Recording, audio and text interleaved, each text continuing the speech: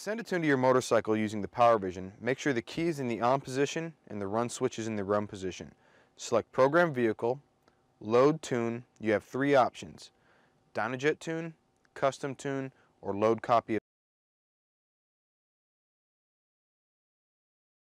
Continue.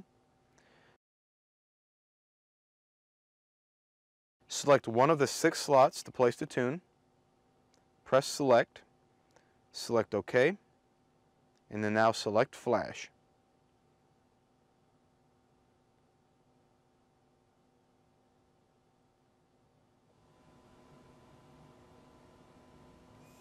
Once the writing process is completed, it's going to ask you to turn the bike off for at least 10 seconds.